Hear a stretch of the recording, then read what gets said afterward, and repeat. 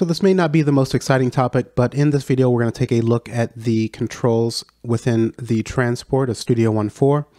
Now, beginning all the way to the left, we have a little icon here, and this is important. If you're ever having issues with um, not being able to produce sound from your MIDI controller within Studio One, this is one of the first areas that you can conveniently look at.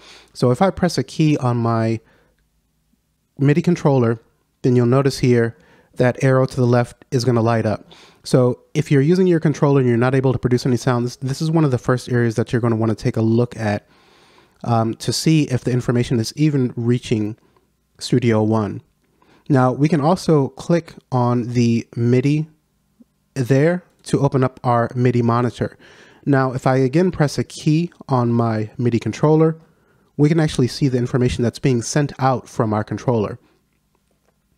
So if you need to do any troubleshooting, if you're having issues producing sound, go ahead and open this up and just see what sort of messages are being sent. So we can see I have note on and note off from C3 on the MIDI controller. We can actually select these to filter and just show certain things. We can um, clear this information out by clicking there we can reconnect our MIDI controller by clicking there and we have an all notes off where we can stop any information. Say we have a device that's out of control. So I'll go ahead and close this window out. And then next we have performance up at the very top. We can see how much our CPU is being taxed here. We have disk use below that. And if we actually click on the word performance, then we have more detailed information. We can see we're at 3% for the CPU, disk is at zero. We can set our dropout protection here. We have cache activity that's shown and used in total. We can actually click on this checkbox here. So if we had any VST instruments, actually let me close that out. I'll F6 and let me bring in a Mai Tai. Close that out, close the browser.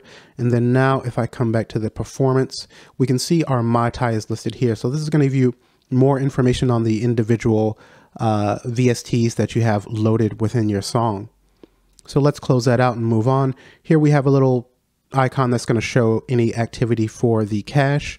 And then here we have a readout for our song position cursor. So if I press the space bar, then we start playback and we can see that this updates to show the position of our cursor.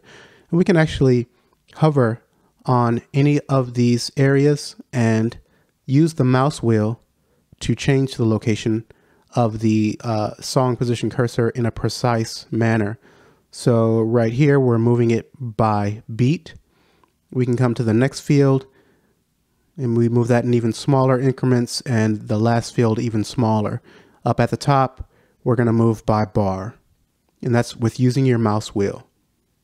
Okay, next we have some traditional controls that most any DAW is gonna have.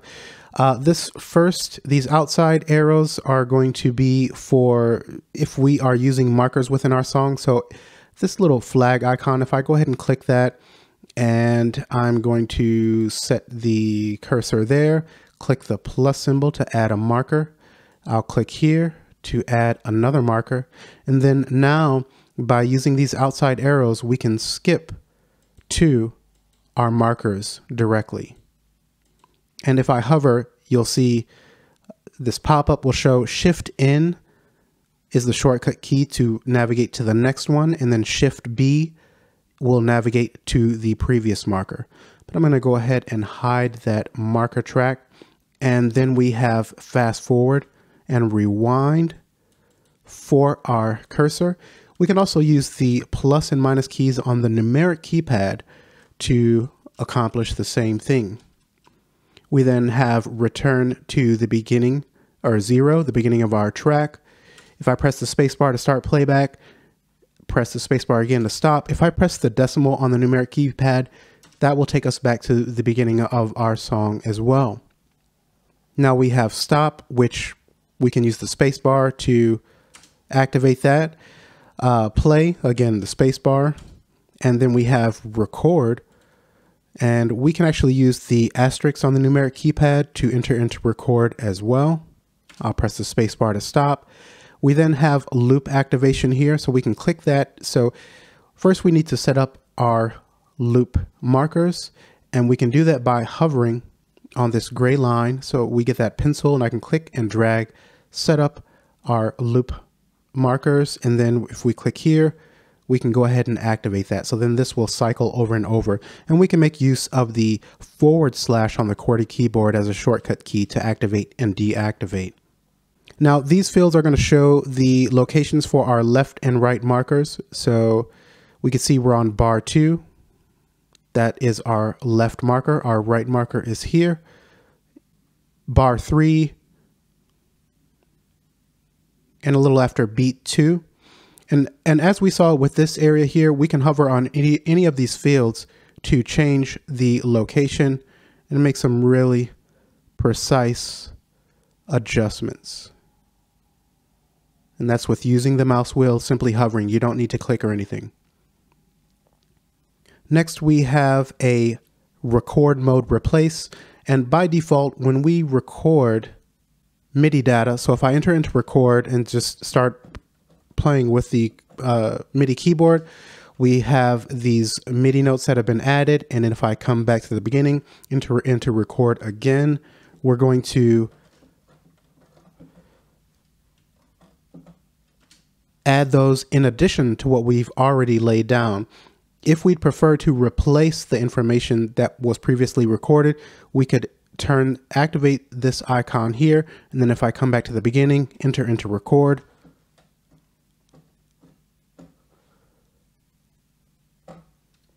and now we can see that it replaces the previous MIDI data. Now this record replace ties in with the uh, record panel so if I I believe it's Alt Shift and R. We can access the record panel and you can see record mode replace that is active and that ties in here. So if I deactivate, you can see it's deactivated here. If I activate within the panel, then it's activated within the transport. But let's go ahead and deactivate and close out our record mode panel. Now below that, we can actually click here to open up the record panel as well. Next, we have our pre-roll. We can activate a pre-roll by clicking on this icon or pressing O on the QWERTY keyboard. We then have auto punch, which we can activate by pressing I or clicking on the icon within the transport. We then have pre-count. If we would like to have a pre-count before actually beginning recording, we can click here, or we can use the shortcut Shift plus C we then have a wrench icon, which we can access additional controls for all of these things that we've been looking at here. So we can see our pre-count, pre-roll, and we can choose how many bars we would like for these to uh, use when we make them active.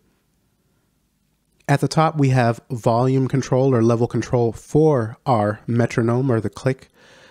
We can even click on these menus here to choose a different sound if we'd like. At the very bottom, we can even add our own sound. We can render our click track if we'd like, store a preset, load a preset.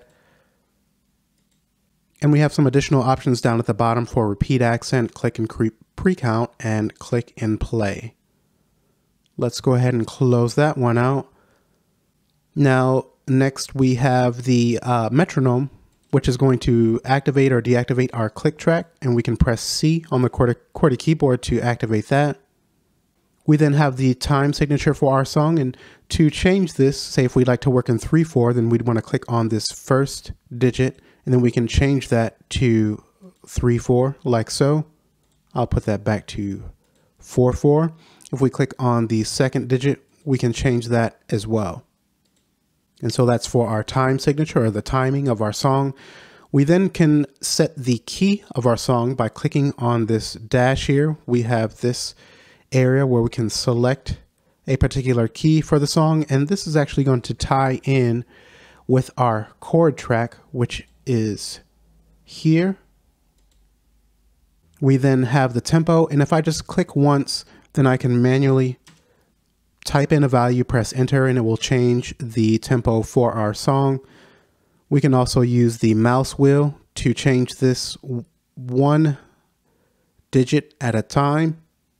If we click, hold, and drag, we can adjust in a more quick way. And if we click on the tempo, we can manually tap in a tempo as well. And a new feature that's available in Studio One 4 is we can actually tie this to MIDI. And I meant to look that up before the video and I did not, but I'll just do a separate video on how we can uh, connect the tap tempo to a MIDI controller. Now here we have a readout for our master channel, the levels, a clip indicator, and we have a level control for the master out. So if I open up the mix console and adjust the fader for our master out, we can see that this adjusts there. But if the console isn't open, we can always click here and drag left or right to adjust as well. If I control click, then that's going to take that back to 0 dB. Now we have these dual circles where we can choose whether we would like the master out to be mono or stereo. So by default, it's going to be in stereo. If I click once, then we change that to mono.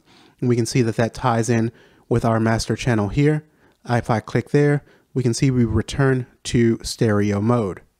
And those are the controls for the transport in Studio One 4.